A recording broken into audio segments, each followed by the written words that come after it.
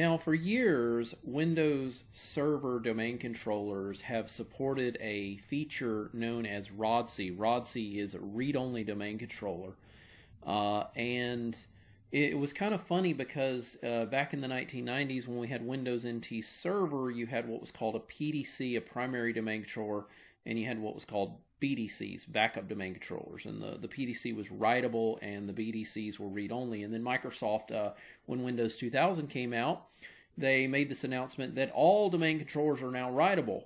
So it was a pretty big deal because it meant that you could sit down at any of your domain controllers and essentially it would replicate to the other domain controllers. Um, not too long after that, a few years down the road, Microsoft released the concept of what is called RODC. RODC is read only domain controller. And the idea is that we can set up a domain controller that is not writable, that is only read only. But the question is, why? That's probably what you're wondering. So I want to I want to kind of explain that a little bit. So to, to help you understand that, I'm going to pop open another drawing here and we're going to take a look at some different locations. So, for example, perhaps our main location might be in New York City. All right, New York City. Uh, and then maybe maybe we've got, we'll just say New York. And maybe we've also got another location which we'll say is in, how about Texas? Maybe Dallas, Dallas, Texas. Okay, so Dallas. All right, and maybe we've also got a another location over here in, let's make it uh, Birmingham, Alabama. I'm just going to put Berm for Birmingham, Alabama. Okay, um, and maybe you know you've got some connections that connect these offices together, some some wide area network connections that connect these offices together, and you've got domain controllers in each one of your locations.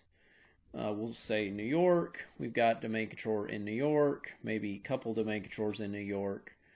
All right, and maybe a couple domain controllers in Dallas. All right, so that'll represent those. Now, we're going to say that Birmingham is a relatively new office and it's a very small office, okay? So, whereas New York, maybe we've got like 500 employees, um, you know, we got different departments working there. Maybe in Dallas, we've got like, I don't know, we'll say 300 employees, okay?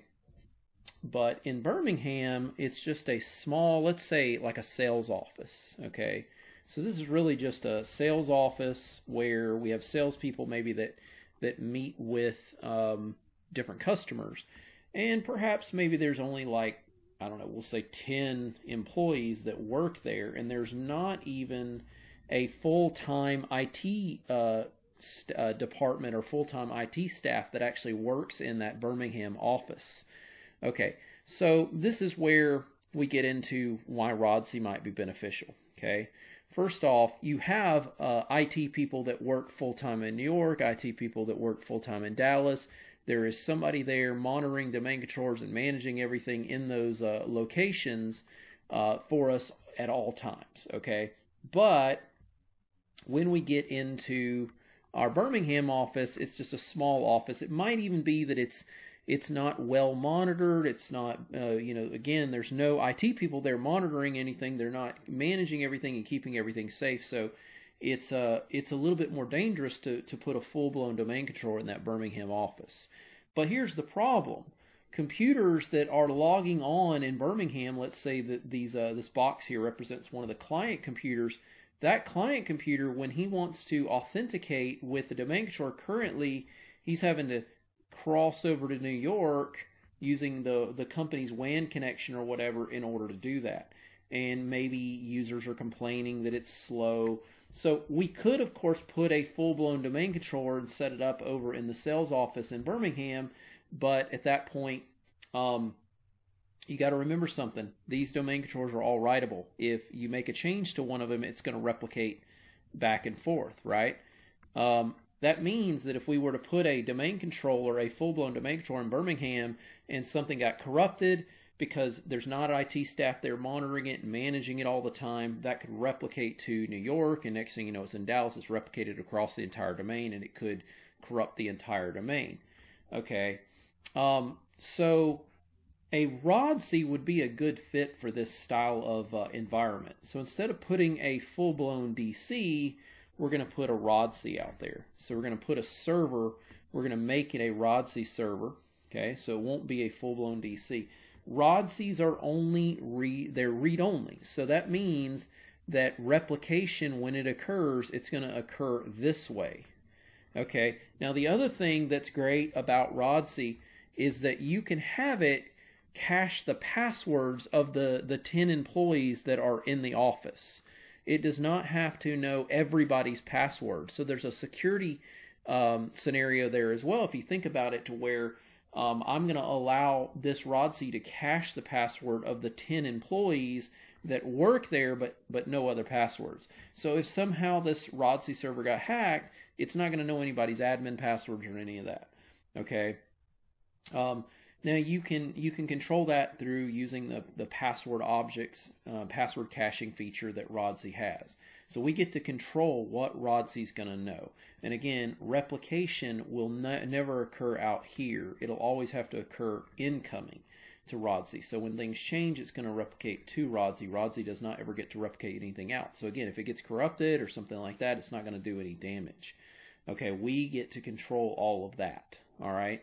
Um, so ultimately, Rod RODC can act as a as a way of you for you to set up a uh, domain controller that's read only, not give anybody access to it. In fact, it doesn't even know um, it doesn't know any admin credentials. So you may say, what happens if an admin visits the Birmingham office and tries to log on? Anybody that tries to log on, if RODC does not know their password, then RODC will do pass-through authentication. It means it'll send the authentication request up to New York in this case, and New York will authenticate the user and pass it back. So if anybody tries to log on and it doesn't know their password, you, they can still get authenticated. It's just a little slower. Else, we could manually tell RODC uh, that we want it to cache a certain person's password. But ideally, you don't really want it caching like admin passwords and things like that. Because of the fact that this server is not thoroughly being monitored, uh, as much as the others because there's not an IT department or there's not IT staff working there, then ultimately what you're doing is you're uh, you're making it where um, it only knows about the 10 employees that work in the office. Okay, so guys, that is the idea of RODC. That is how RODC could benefit us. It's not used super duper often in the real world. There are certain circumstances where it can come in handy. But um, you can put DNS on that as well, by the way. So Another thing that's handy is uh, you can have DNS set up on it, and uh, your employees can query using DNS and all that right there with RODC as well. All right, but remember, RODC is read only, and it's only going to be used in certain circumstances. This is John Christopher. I hope you enjoyed that video, and I want you to know that I'm trying really hard to grow this channel, so I hope you'll give me a like and a subscribe. Also, if you'll check the description in this video, I've got a link for you that can show you how you can get access to all my different courses. I have lots of different Microsoft certification courses that'll help you pass your exam. All right, thanks a lot for watching the video, and I hope to see you again.